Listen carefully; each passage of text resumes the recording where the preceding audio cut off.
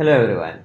I promised that I would record and upload this video yesterday, microservice and database uh, part 2 video, but I'm sorry I was not in the mood to record this yesterday. So I skipped it, but I'm going to do it today. So last time we discussed how you can create a record in the database, right? So without any uh, JDBC, without any uh, database related queries or anything, we learn how to create these records in the database. So, so now we are going to move to one step further. That means little little advanced topic. Okay. So we are going to learn how you can create the databases and tables and everything uh, without even interacting with the database. I mean, a database mean let's say if it's a MySQL, without going to MySQL Workbench or MySQL command prompt, how you can create and uh, manipulate all those tables from your project. So why this is important? Think something like this. So let's say you are going to develop some system, you're in a development stage, you want to give someone to try, right? So in that case, um, so that person maybe manipulate your data, play with your system, and when he go next time, he don't have a fresh system, right? So with this approach, you can uh, give him a fresh system every time. So what does it mean? When you start your service, it will create all the tables for you, right? So table will be, the system will be from the scratch every time. Database will flush and ready for the next time from the beginning. So this is I mean, there are multiple uh, ways, multiple things you can do with this feature, but the, that is the most common thing. I, I mean, benefit I'm always getting. Anyway, so let's move into the project where we left uh, last time. So if you check the database, database don't have any record right now.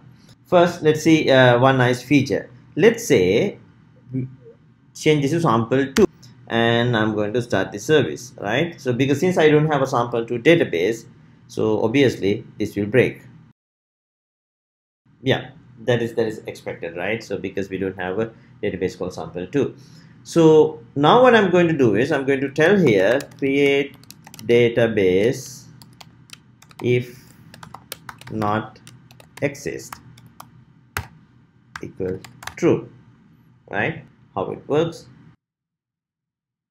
So no failures. Let's go to database and let's try to refresh everything. So now you can see you have a sample uh, database right? Sample 2 database right? So but it doesn't have any table but you do have a sample 2 database. So since we don't have a, uh, any table let's see what we can do right now right? So I'm going to add new property called jpa dot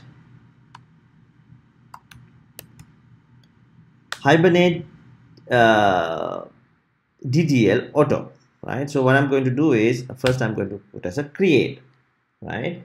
So I'll explain what this property does is, but let's see what happened. So now I'm going to execute my program again.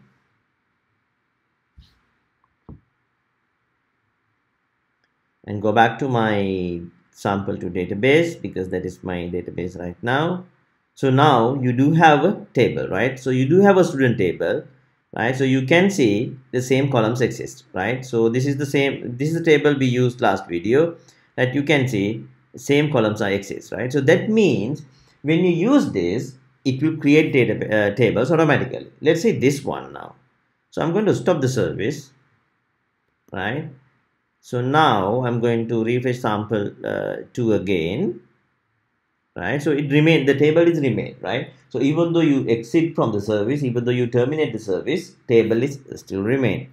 So what i'm going to do is i'm going to change this to create drop right? This is the nice feature. So now you run this right? So you have the table right? So now we're going to stop this. Service is stop right so you go and uh, check here again. So now your table gone, right? So your table gone.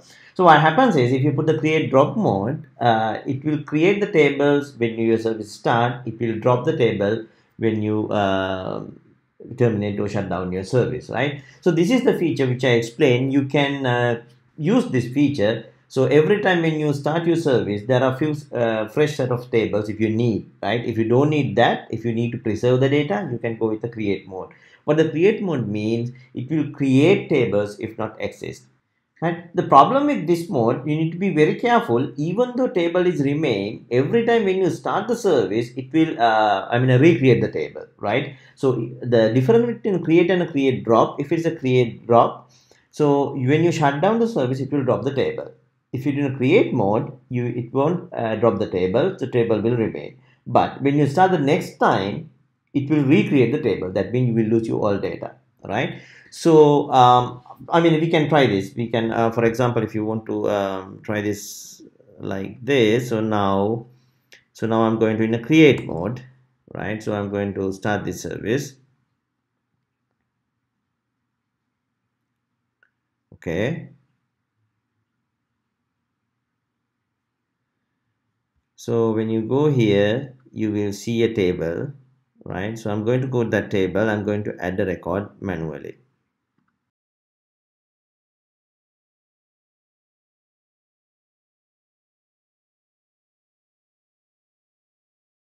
right so if you uh, select the record now you have a record okay so now i'm in still create mode i'm going to stop this service right so still i do have access to the record and i'm going to start the service again. Right so when i execute this now I don't have a record right? So different between create and create drop. Create drop drop the table when the service shut down. But create won't drop the table when you uh, shut down the service.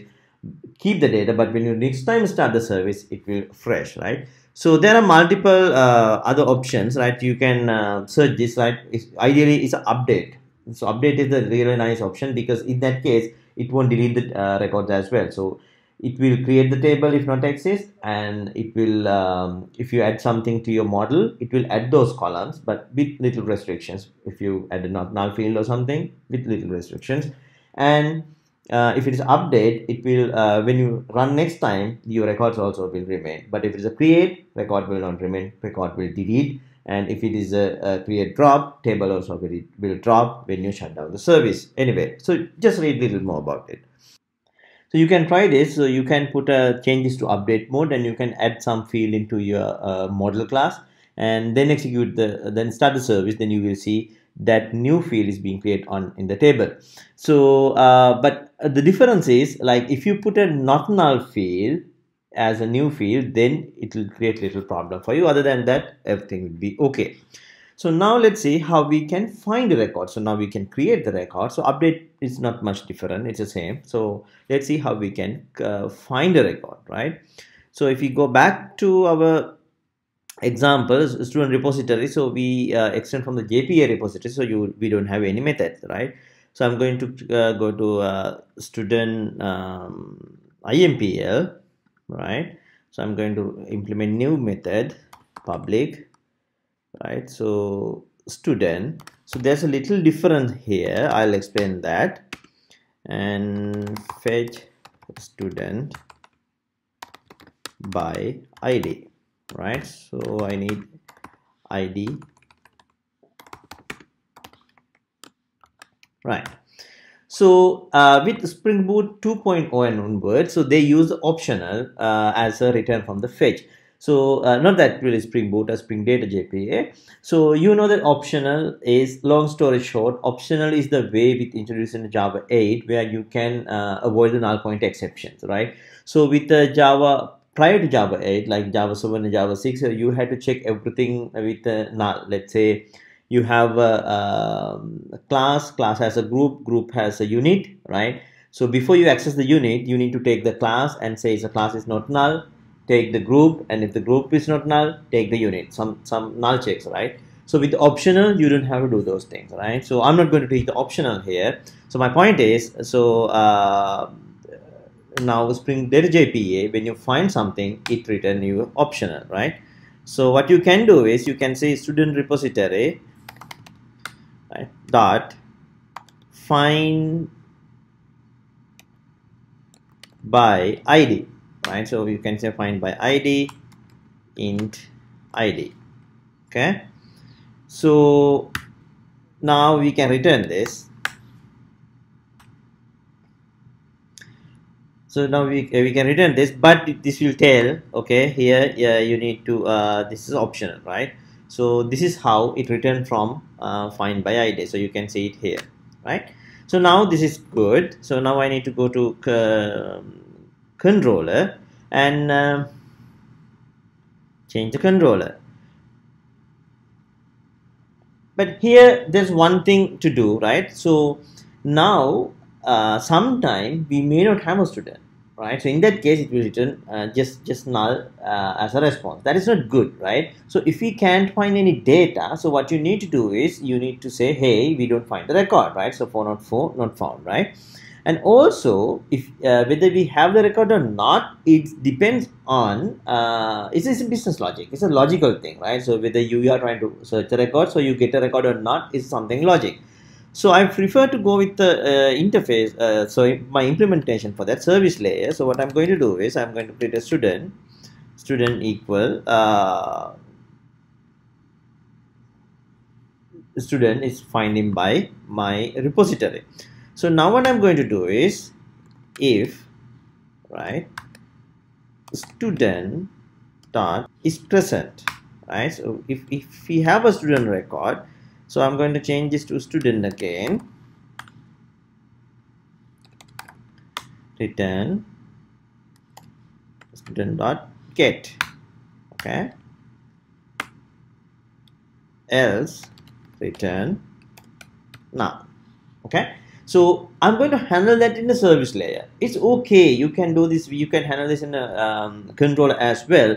But I prefer to handle this in a service layer because controller is supposed to uh, route the traffic and this is kind of my my logical thing my business logic right? So i'm going to take it here. So now everything is from service layer is okay? So i need to go back to here and i need to uh, add this to the controller. So what i'm going to do is public uh, student. Fetch student. So this time i need to tell my i'm going to send the uh, request parameter to the id right? So it's a int id right? So here i'm going to do little different. So rather than just uh, sending the student object uh, as a response but there are two cases right? So sometime i don't have a student sometime i do have a student. If i don't have a student the right practice is say hey not found. I cannot find any student right? So for that i need to change this to response entity right? So in that case we can um, we can change the so in this case we can uh, change the response code otherwise the http status code. So what i'm going to do is student student equal uh, student service dot fetch student by id and so int id sorry sorry i'm going to pass this id so if student if i get an if student is null then I, I mean i don't have any student right? So what i can do is response entity dot not found dot okay. So now this way okay i don't have any student. Else that mean i do have a student. So response entity dot okay dot body is my student object right so this can return.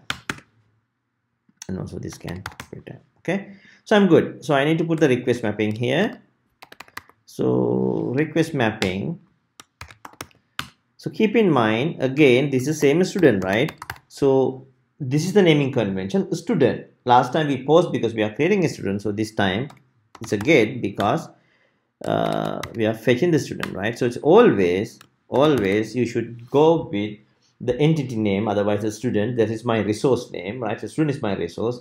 So rest verb used to whether get or post whether you create or retrieve okay? So i'm good and i reset my configuration back to sample database right? So i'm good and i'm execute this. Right so meantime i go to my rest client. So this is where we left last time okay? So i'm going to let's say okay so i'm going to create one record the id is 1 and name is Krish and so I create that record. So it is in the database now. And I'm going to create two. Okay.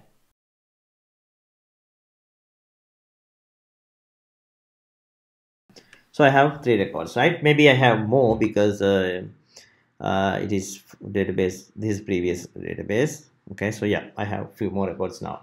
So I'm going to fetch one. So to the fetch I need to uh, change this to a get call and then I don't need this payload. Instead of that here I need to tell hey id equal uh, 1 right? So fetch the id record equal 1 so now it will say hey Krish so fetch the id 2 right? So it fetched the second record now let's try to fetch something non-existing record let's say 50 right so when I fetch that you can see it changed it to 404 which is not found right so it doesn't have any body so this is the uh, simple way how you can um, insert record, how you can create record, and also how you can use some features to generate those database and tables automatically. This is a small video and this kind of a continuation part from my last video. So now um, just go ahead and subscribe. If you like this video, put a thumbs up and also uh, if you have an audience where you think this, this type of videos are interesting, just share this video. So then I'll see you in the next video uh, with the continuation of our journey, microservices in and out with the practical examples. Till that, stay safe, take care.